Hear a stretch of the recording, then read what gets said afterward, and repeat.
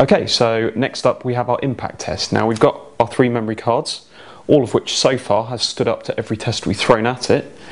And now what we're going to do is drop five kilograms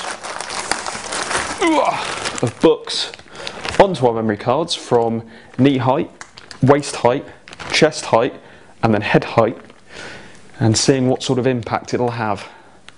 Let's find out.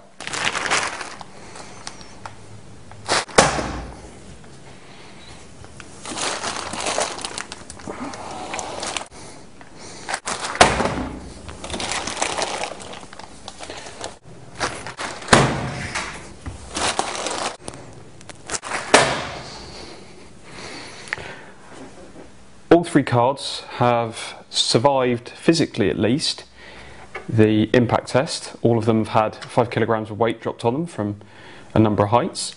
So what we're going to do is we're going to try and see once more if they still work. So we're going to start off with the compact flashcard. I'm just going to pop it on in.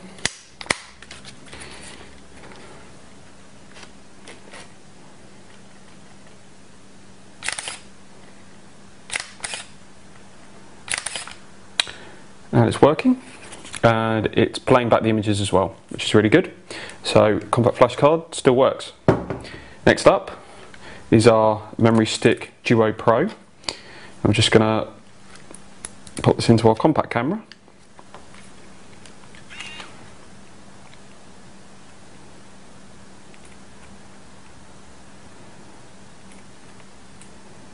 And it's taking photos fine. And as you can see still playing them back as well. So that's another success. And finally, we're just going to give the SD card a quick go. So it's in the laptop. I'm just waiting for it to read the files.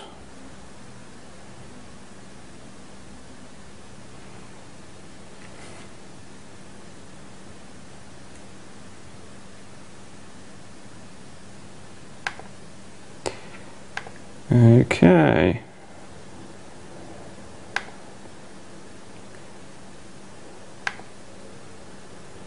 So it seems like there's every chance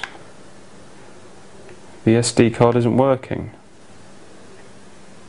Now, as I mentioned, um, the SDHC card didn't seem to want to work within the laptop. Um, I've since tested it a number of times and I've actually noticed that if you can see, the, uh, the casing has in fact broken on the memory card.